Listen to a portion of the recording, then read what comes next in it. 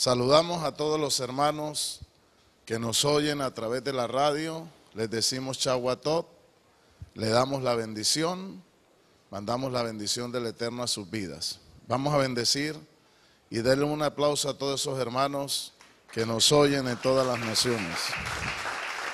Dice la palabra en Esther capítulo 3, verso 7. En el mes primero, que es el mes de Nisan, en el año duodécimo del rey Asuero, fue echada pur.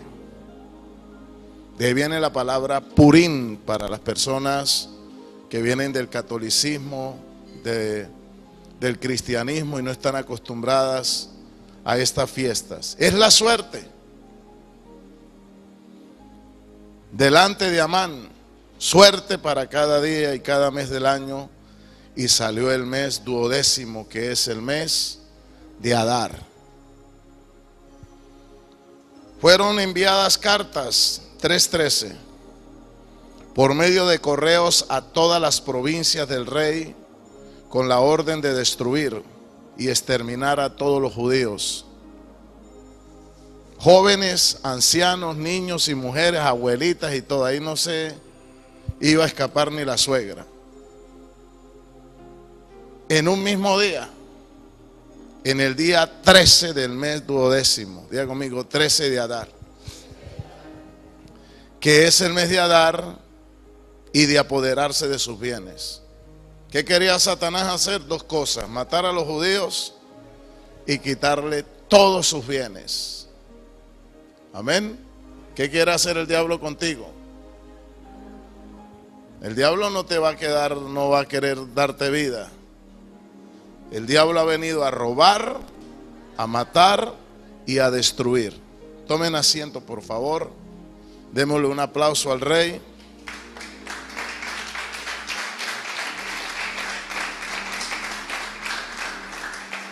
Yo quiero encapsular una palabra en esta noche porque ya he hablado bastante de Purín y no quiero volverme intenso, ni repetitivo, ni monótono. Porque una de las cosas que se ha caracterizado por el léxico de mi mensaje es no, es, no, no es tan, es el no ser tan ceremonial, sino ir con una palabra clara, objetiva, que usted la pueda encapsular, desarrollar fe, elevarse espiritualmente, transformarse un campeón y darle una patada al diablo. Ese es el objetivo de, de mis mensajes. Todos mis mensajes van con el objetivo de despertarlo y que usted salga del letargo espiritual, de la inercia espiritual y del engaño espiritual. Se levantó un decreto para destruir los judíos. Se levantó un hombre llamado Amán que materializaba las fuerzas oscuras. Se levantó un hombre perverso que representaba la encarnación de todos los poderes y las fuerzas negativas que hay en el universo para destruir al pueblo judío. Y con el poder político del rey, con el poder religioso, con el poder del ocultismo, ¿por qué dice la palabra que echaron suertes? Porque siempre los reyes en aquel entonces, y más que no eran israelitas ni judíos eran reyes supersticiosos. Ustedes saben que la astrología, la brujería, ustedes saben que todas las prácticas de ocultismo vinieron de Babilonia. Y por ende Persia no se escapaba de hacer estas prácticas. Todos los soberanos y sátrapas, cancilleres, de los países de la luna, de la media luna de Mesopotamia, tenían sus brujos de cabecera. Tenían sus hechiceros, tenían sus cábalas, tenían sus santeros, espiritistas, adivinos, agoreros. Tenían sus hombres místicos que les aconsejaban qué era lo que tenían que hacer cada año. Por eso dice la palabra que echaron suertes ellos no hacían nada si no le preguntaban a los brujos. Ellos no daban un paso si no le consultaban a los astros, a la brujería, a la hechicería.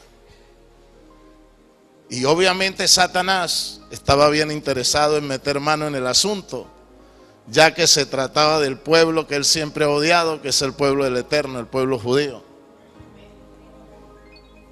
Y Satanás logró levantar un decreto injustamente para exterminar a los judíos. Diga conmigo, decretos en contra. ¿Usted sabe qué es un decreto? Es cuando Satanás, con permiso de Dios, con permiso del Padre Eterno, tiene derecho legal para meterse con su vida. Y cuando lo logra, entonces Él viene a materializar el decreto. No hay nada que le pase al ser humano si no es con el consentimiento divino. Y cada uno de nosotros, todos los años, somos juzgados para tener un año bueno o para tener un año malo. Y en el transcurso del año, nosotros recibimos las cosas buenas, tan como también las cosas negativas, porque nosotros mismos las producimos. ¿Cómo se levanta un decreto bueno bueno o un decreto malo? A través de nuestras acciones. Por eso es muy importante no solamente creer en el Eterno, creer en Dios. Es muy importante cambiar principios, actitudes, maneras de vivir, costumbres y alinearse uno con la palabra del Eterno. Pablo lo dice, lo que el hombre siembra, eso también cosecha. Si usted en el año sembró malas acciones, malas actitudes, obviamente, que todo lo que usted sembró es como un boomerang. Todo lo que usted sembró, la factura le va a llegar. Usted va a tener una cosecha buena o mala. Por eso Pablo dice, los que siembran para la carne cosechan muerte. Los que siembran para el espíritu cosechan vida. Hay personas que en este momento, mientras yo estoy predicando, Satanás las está matando. Porque Satanás o la muerte o la enfermedad tuvieron un derecho legal para ejecutar y materializar un decreto en contra de esa persona. En el libro de Job, capítulo 2, verso 1, vemos cómo las fuerzas contrarias, invisibles, negativas, piden los decretos y van al trono y hablan para poder ejecutar un decreto en contra de alguien. Dice la palabra en Job capítulo 2 verso 1. Aconteció que otro día vinieron los hijos de Elohim. Qué interesante. ¿Quiénes son esos hijos de Elohim? ¿O quiénes serán esos hijos de Dios? Para presentarse delante de Yahweh. Y vino Satanás entre ellos presentándose delante de Yahweh. O sea que el diablo tiene acceso al cielo de vez en cuando. Él fue echado fuera, pero de vez en cuando lo dejan entrar. Dice Pablo, todos compareceremos ante el tribunal de del Mesías. Y en un tribunal, toda verdad es paralela. Tiene que haber un juez, tiene que haber un fiscal, tiene que haber un representante del Ministerio Público, tiene que haber un, acusador, que es el fiscal, y tiene que haber un culpable y un abogado. Y dice la palabra, y dijo Yahweh a Satanás, ¿de dónde vienes? Respondió Satanás a Yahweh y dijo, de rodear la tierra y de andar por ella. Y Yahweh dijo a Satanás, ¿has considerado a mi siervo Job? Que no hay otro como él en la tierra, varón perfecto y recto, y apartado del mal y que todavía retiene, que retiene su integridad. Y aun cuando tú me incitaste contra él para que lo arruinara sin causa, respondió Satanás y dijo a Yahweh, piel por piel todo lo que el hombre tiene dará por su vida. ¿Sabe qué hizo Satanás? Estaba pidiendo un decreto para meterse con la vida de Jod. El Eterno se glorificó en Jod. Ustedes ya saben lo que sucedió. Pero el Eterno le dio permiso y le dijo solamente, te doy orden de que no le quites la vida. Pero Satanás se metió con sus hijos, se metió con su familia, se metió con sus bienes. Había un decreto en contra. ¿Aló? Yo lo que le quiero decir con este episodio, que es muy controversial, y hay que mirarlo con lupa, bueno, los que son exégetas, para poder tener un entendimiento. Yo lo que le quiero decir y quiero extraer de esta porción de la escritura es que el diablo siempre está buscando decretos en contra tuya para tener legítimamente un derecho legal de parte del Eterno para destruirte. Esa es su característica, acusar. Por eso en Apocalipsis dice, el acusador de nuestros hermanos, que nos acusa de día y de noche.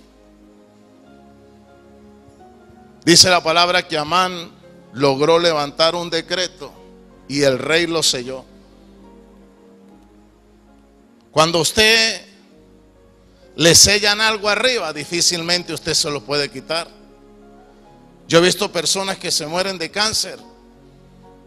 Yo he visto personas que tienen una muerte muy trágica.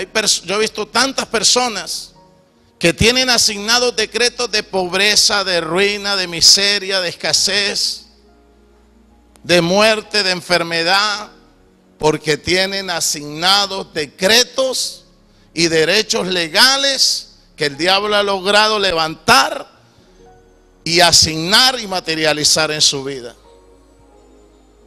Y lamentablemente hay personas que no se dan cuenta, no tienen discernimiento, no conocen la palabra, no conocen las armas y no saben cómo anular y destruir los decretos. Y muchas veces con su comportamiento hacen que los decretos se dilaten más y muchas veces esos decretos lo llevan hasta la misma muerte y aún hasta el mismo infierno. Por eso es muy importante tumbar los decretos en contra. ¿Cuántos alaban el nombre del Eterno?